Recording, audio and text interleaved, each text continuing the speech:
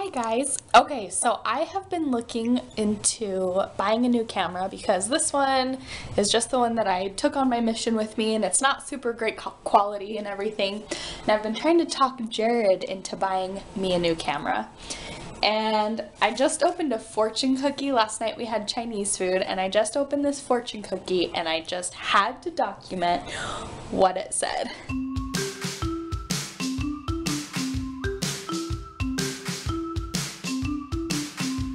Says, see if I can get you guys to see this with this bad camera. Ugh. Okay, it says, because I know you can't see that because it's stinking blurry. Ugh. Okay. It says, all the effort you are making will ultimately pay off. so I told Jared, I went and took this to him and said, do you see? All of the efforts that I'm making and wanting to buy a new camera will pay off. Ah! I want a new camera.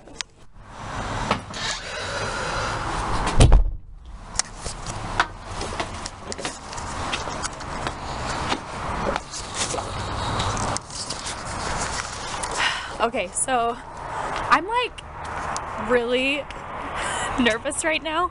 I'm heading to my internship, which tonight is a training night. And hold on a second. I am on my way to, it's a training night for my internship. I My internship is um, through UVU and it's the Strengthening Families program. So what I basically do is I go to, there's like five or six different sites and what I do is I go to the site that I'm assigned to every week and I teach a class. So that is what I'm on my way to. Um, it's just a training night and I I did this last semester and it was fine. but I am so nervous. I would much rather teach in front of like five or six families, so like 30 people than the other facilitators. And I, ugh, I don't know why I'm nervous, but like my cheeks are turning red and I like don't really want to do it. and I kept telling Jared, like, I'm like, I'm just antsy. I need to just go because I am, look what time it is. I don't have to be there till five and I seriously live two seconds from the junior high where I have to go. so I got my corn nuts. I've got my camera. I just, uh, I don't know why I'm so nervous, but I am. Probably not the safest thing to be recording while driving, but I do it anyway.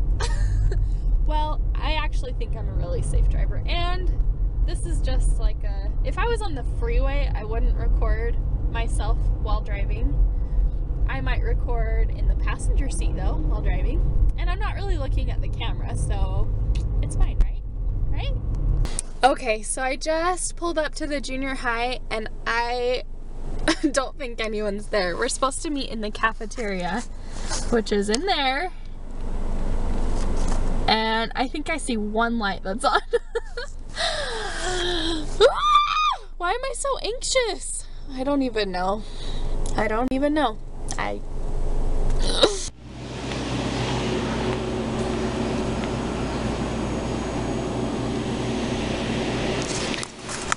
I am the only person in here.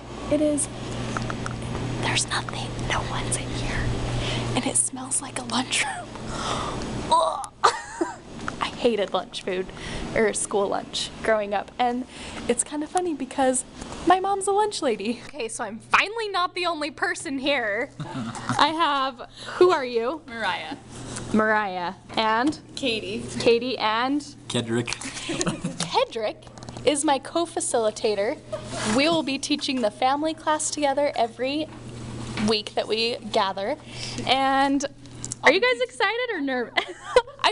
Feel less nervous now that I'm like, now that you guys are here. I seriously have said how nervous I am I don't know how many times, lots of times, you guys all know.